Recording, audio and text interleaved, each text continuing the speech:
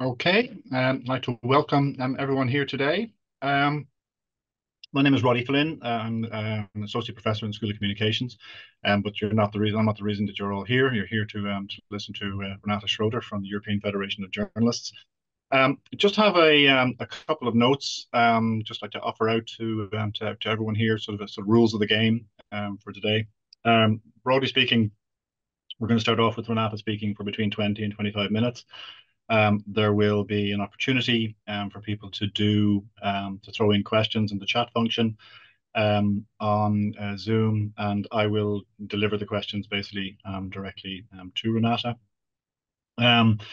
we should stress that this is being recorded and this is a public event, and so both the initial address from Renata and the Q&A session will be regarded as on the record. Um, so again, I would strongly invite you to um, to submit your questions, um, even you know, during the, um, the, the talk if they occur to you at that point. Um, but we will uh, wait until the end before you actually uh, we actually start putting them directly to uh, Renate. And I would ask you that when you're putting forward your um, uh, your questions, if you could just identify who you are and if you're affiliated with any particular organization, that'd be very helpful um, to know. Um, and if anyone would like to tweet um, the event, the, uh, the tweet Twitter handle for today is, um, or X handle for today is uh, at IIEA. So um, I'd just like to briefly um, introduce um, Renate. Um, she is the director um, of the European Federation of Journalists. Um, she joined the International Federation of Journalists back in 1993. She has worked widely um, internationally. She has worked in the UN, um, New York. She worked in the Friedrich um, Ebert Foundation in Brussels. She joined um, the European Federation of Journalists back in 2003. And her academic background comes from initially um, in international relations and political science uh, at Boston University. And she's also studied at the Free University of Berlin, where she did her master's uh, in 1992. But um, that's all you need to hear from me. And let me um, hand over the floor um, to, uh, to Renate. And thank you so much, Renate, for being here today. Yeah, thank you very much. Thank you very much for having invited me and for giving me the opportunity to talk to you on these, at least I feel, burning issues which are close to my heart and I truly believe ever more important for all citizens, young and old alike, who wish to live in a liberal democracy and who wish to get the facts right, who wish to use their right to know and who wish to look behind the curtains and make governments, big business, and whatever you want accountable. Today, indeed, we face many challenges from wars in Europe, the climate crisis, economical inequalities, you name it. People are afraid and ever more prone to simple messages. Yes, to disinformation coming from illiberal forces, foremost Russian Kremlin or Trump and his followers, but as we all know, not only. We all talk about this year as a super year of elections, and we know that for elections to be fair, independent media and access to it is a sine qua non, including for the upcoming European elections. Before I will outline some major threats and challenges to media freedom and the work of journalists, and also come up with some proposals what we need to do, let me just say a few words about the European Federation of Journalists, for which, as you just learned, I have been working for 30 years.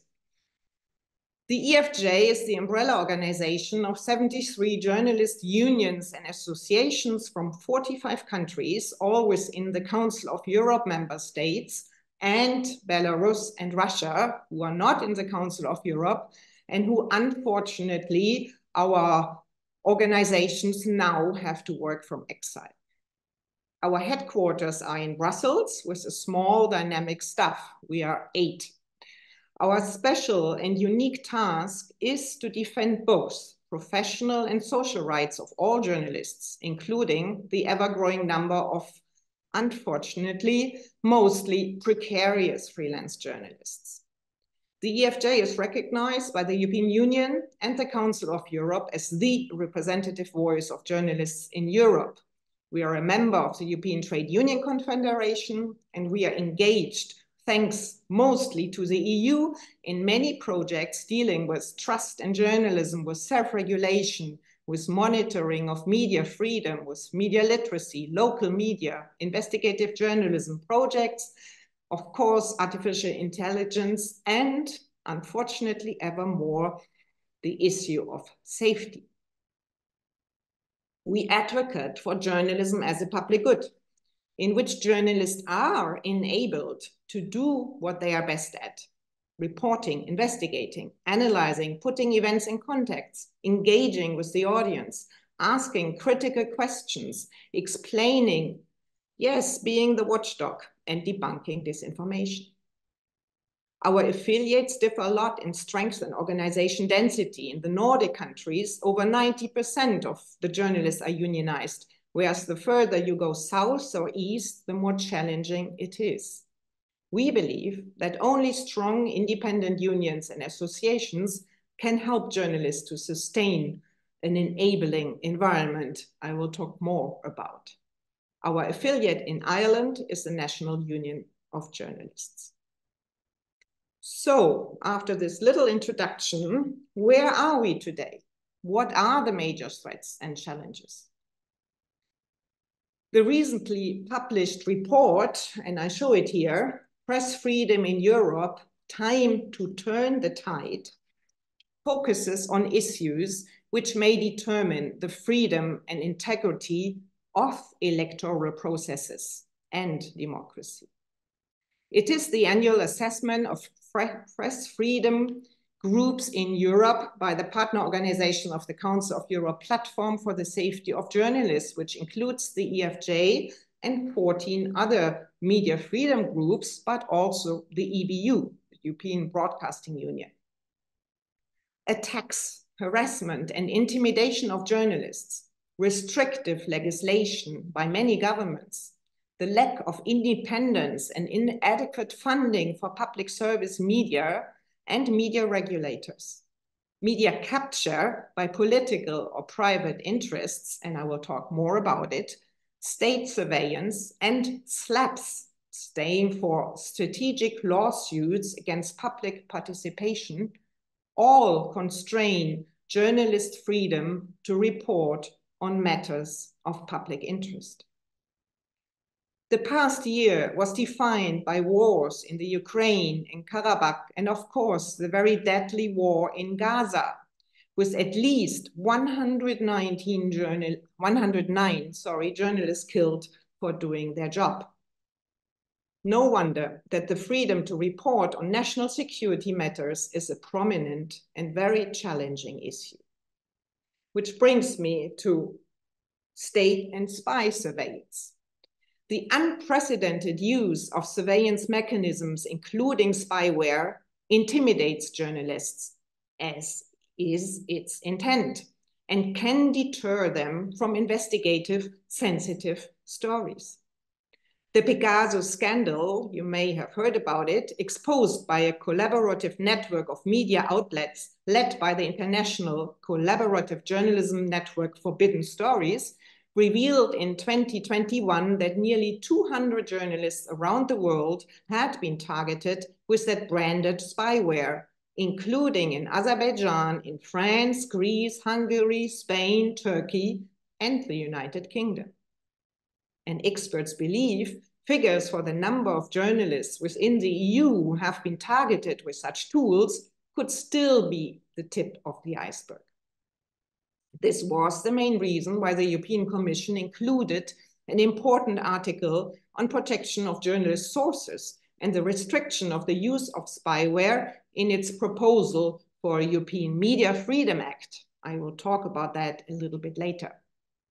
France fought to the very end for national security exemption in the act, showing a clear lack of commitment by politicians and governments to media freedom.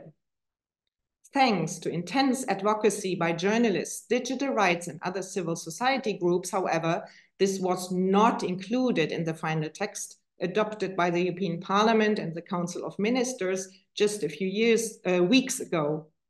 But the possibility of spyware being deployed against journalists will still need to be strictly monitored through transparency and judicial control. SLAPPs, which I mentioned before, and you may have already forgotten what it stands for. Journalists and media outlets are often sued for defamation, also in Ireland, or vexatious lawsuits. Often they are asked heavy fines or their assets are frozen. That often leads to self censorship or just the impossibility to continue sensitive investigations. Daphne Caruana Galizia, the Maltese investigative journalist who was brutally murdered in September 2017, had faced at the time of her death 43 civil and five criminal libel suits. According to the Coalition Against SLAPPs in Europe, a slap is an abusive lawsuit filed by a private party with the purpose of silencing critical speech. For example, when a business executive goes to court to intimidate a journalist or human rights defender with the goal of complicating their work. And yes, slaps are on the rise. The other term I mentioned before is media capture. In particular, in Central and Eastern Europe, oligarchs or governments have bought media to pursue their political or economical interests. Populist governments and other vested interests have taken over large media holdings. Public service broadcasters are used as mouthpieces of the state. I think Hungary has been the best example here. Poland, now with a new government, shows how difficult it is to get rid of such media capture. Romania, Bulgaria, but even Italy and Greece have all increased captured media as well. Media capture can take multiple forms, such as media ownership, pressure through advertising, bribes, and even jailing and physical violence against journalists. Media capture is shown to be a growing phenomenon linked both to the resurgence of authoritarian governments.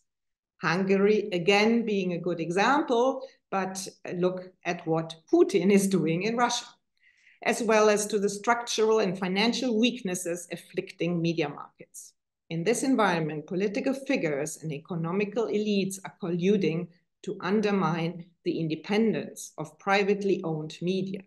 I just had a few moments ago a Slovakian journalist here who asked me if we are concerned of what's happening in Slovakia. And to tell you the truth, we are extremely concerned. Just as an example, the newly um, elected Prime Minister Fico, first thing he was doing is getting rid of the or destroying the public service media and establishing a new public service media or trying to which follows his political ideals.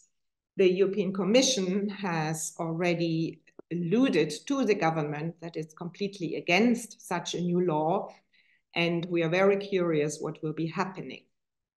Um, however, I could go on and on, but I just wish to briefly outline four more threats or challenges which are in connection with the lack of business models for independent public interest journalism we face today. And these are precarious conditions, local news deserts, the use of AI-generated content, and clickbait journalism you probably have heard about. Hand in hand with the rise of misinformation, the business model for independent journalism is withering and the status of professional journalists is at a low ebb. Precarious working conditions, especially for freelancers, threaten the quality and independence of their work. According to the latest Media Pluralism Monitor from the European Universities Institute Center for Media Pluralism and Media Freedom in Florence, which is supported by the European Union, only four European countries out of 32 analyzed offer good working conditions for journalists. Guess who they are? Denmark, Germany, Sweden, and yes, Ireland. The results show, however, a particularly worrying labor situation in many countries and above all in Croatia, Hungary, Montenegro, and Romania, where journalists who do not enjoy the status of employee completely lack social protection. This precarious status is most apparent in local media. Although these outlets, especially local radio, are often or most of the time the most trusted and important when it comes to debunking disinformation, when it comes to providing contacts at local, regional, but also at national and European level, a recent CMPF study highlights the increasing number of news deserts throughout the EU where such media are no longer available, as well as a related decline in local journalists and deterioration of their working conditions. And very often, when there is no local independent media anymore, then our friends, the Russian trolls and others are intruding, or right-wing parties, as we had now an example in Thuringen, where influenced um, AfD free papers are circulated in bakeries and um, gas stations. Regarding Ireland, the report says local media are an important feature of Irish life, which is reflected in high levels of public trust. Unsurprisingly, there is considerable concern about threats to local media and the implication for social cohesion and democracy. The potential for news deserts has been raised at parliamentary hearings, at academic conferences, and by the National Union of Journalists. In Ireland, there are no real news deserts. Interestingly, it is the rapidly growing suburbs of Dublin City that are most immediate of risk of being news deserts. These suburbs lack a media presence commensurate with their size. With the speedy transformation of generative AI used in the newsrooms, the already fragile information ecosystem has new challenges. We all know that. As well, of course, many opportunities. What is urgent to keep or re-establish is the trust in journalism. AI may be seen as a means to transform the information ecosystem, but generative AI in particular carries the risk of increased misinformation and so falling public trust. I only need to use the word of deepfakes. The use of AI needs to be regulated accordingly so as to empower journalists to be quicker, more efficient, and more innovative rather than substituting for their absence. Training here is paramount, but with lacking resources, AI may be misused to replace journalists and journalists are asked to compete with the social networks, attention-driven economy, with clickbait and with influencers, you name them, with a sort of alternative media landscape which is growing. It's unfortunately most often not quality and boring facts that get the most attention. As we learned from an MIT study in 2018, lies go eight times quicker than such boring but very important facts. So thank you so far for listening to all these challenges. Let's pause a moment and think about what to do. And I will be very happy in the discussion afterwards to get some suggestions from you as well. I have three here to turn the tide. And to be honest, I think we do not have much time before, again, the Russian and Trumpist trolls take over. And I don't want to be too negative, but um, I want to shake a little bit your brains. So first, what is very important is the enforcement of international standards EU regulation, specifically the European Media Freedom Act, but also the SLAPP directive, which is called by some the Daphne directive. Second, we need broad alliances to support journalism and media literacy. And third, we need a sort of Marshall Plan for investing in quality information, in good journalism. So let me say just a few words regarding enforcement of international standards. The Council of Europe has set a lot of very good standards and recommendations on all important issues dealing with media, media concentration, protection of sources, public service media, ethical standards, the quality of journalism, recommender systems, and it just um, adopted also a recommendation on SLAPPs last week. But though member states have endorsed them all, the implementation is not taken seriously. It is and remains soft law. This is one of the reasons why the EU has done more than ever before to try to create a safer and sustainable space for journalism, not least by pursuing the European Media Freedom Act. It has adopted a, a directive against the use of slaps against journalists and human rights defenders just recently. It has adopted the Digital Service Act and Digital Markets Act, both very important to create a fairer level playing field and make big tech more accountable and transparent. It has adopted an Artificial Intelligence Act, not least to make sure that human control must be guaranteed. It has supported many projects linked to press freedom and journalistic self-regulation. It has supported studies on so-called media deserts, but it also has given um, funds for cross-border investigative journalism for freelancers and for also local media. It supported training on the safety of journalists as well as social dialogue. Altogether, around 50 million per year has gone to media organizations under these rubrics.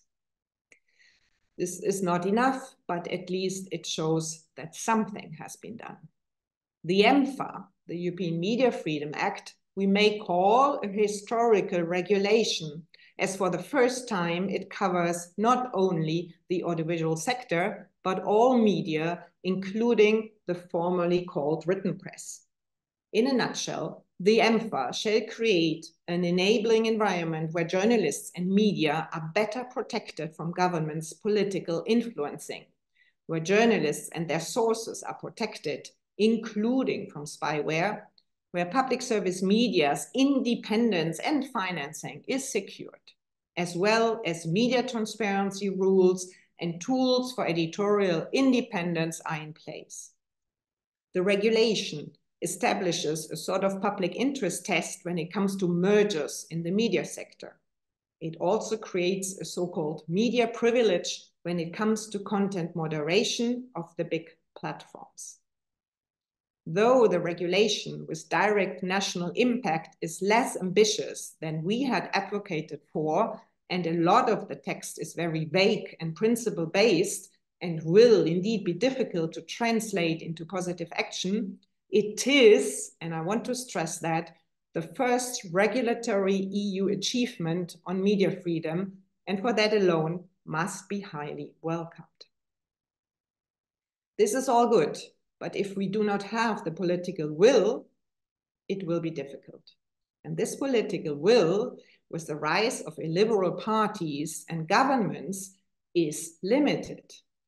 And that's why, and here I'm coming to the second point, we need to convince citizens that illiberal parties are no good for our democracy and for our quality of information and much more.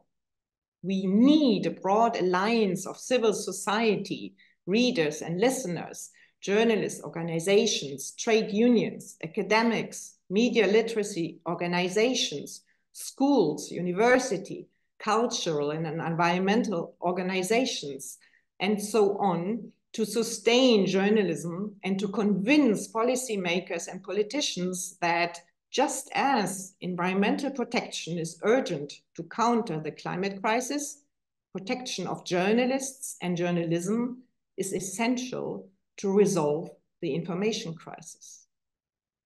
Without citizens enjoying the right to know without accountability and transparency, without ethical journalism, also without media literacy, there is no democracy. As the OSCE representative on freedom of the media rightly put it, without media freedom, there cannot be any security. We just organized, with the financial support of the European Commission, a great journalism and media literacy festival in Florence with over 1,000 participants, where we discussed the role of journalism and showcased good journalistic projects, good media literacy, and we also gave prizes to young people who are engaged in both. We will have the second festival in Croatia early next year and hope to continue such great activity. Many young people participated and were interested in supporting us in this thrive for journalism as a public good. And that gave some hope. And yes, I'm happy to get any good suggestion from you also in terms of how to improve such a festival. And here I'm coming to the third point, which I already mentioned. Journalism as a public good needs funding. It needs a mix of public, private, and foundation-based funding. Independent professional journalism is expensive if it wants to be good. In our view, we need to tax big tech and find other innovative ways to fund journalism, besides, of course, citizens convincing to pay for information. Audience engagement, new journalistic formats, support for media literacy, the right use of AI, they're all crucial to make journalism a tool for citizens to connect, to debate, learn, and engage in public discourse in today's ever more polarized society. That is why we just adopted our EFJ manifesto prior to the EU elections. It's called Stand Up for Journalism, and here we propose exactly three action points for the future EU policymakers. The first is regarding the viability of journalism. The second is on safety, how to better protect journalists. And the third one is on regulating generative AI. Thank you very much.